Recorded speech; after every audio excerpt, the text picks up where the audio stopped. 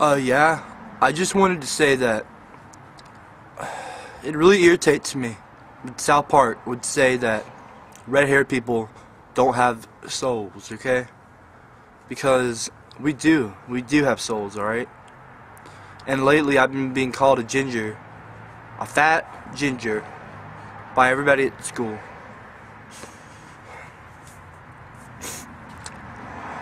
And it really hurts my feelings. I like it doesn't, but it does really bad. Gingers have souls! I go to church. I'm a Christian. You don't know me. You're not God. You're not God. You don't know who has a soul and who doesn't. Alright? I'm a Christian. So if you think I don't have a soul, you tell me. Otherwise, fuck you. Bitches, you. For real. I'm, I'm getting sick and tired of everyone making fun of red haired people.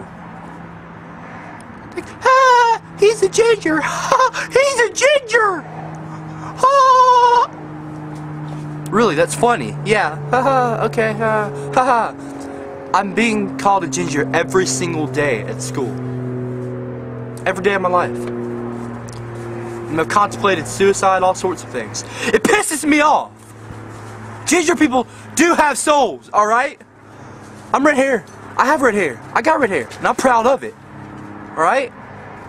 I consider ginger a very slanderous word. Demeaning word. And I'm tired of it. Tired of it. You know, everybody else gets respect. I mean, black people, white people, Mexicans, everyone. Gingers, why? Why do gingers have to be put down so much? Like, really, what's so different about us besides our hair color? Huh? Really? What is so freaking different? Tell me! God! Because I don't really see much of a difference, okay? I'm redhead, I'm redheaded, and I'm proud of it. Alright? Everyone else, I'm sorry. I don't mean to insult you. But, you know, I mean, I'm proud of me. I'm proud of myself, you know? I'm proud I got freckles, you know? It's who I am. God made me that way. And I have a soul. So, yeah. Don't freaking be like that, okay? I have a soul. Ginger and proud of it.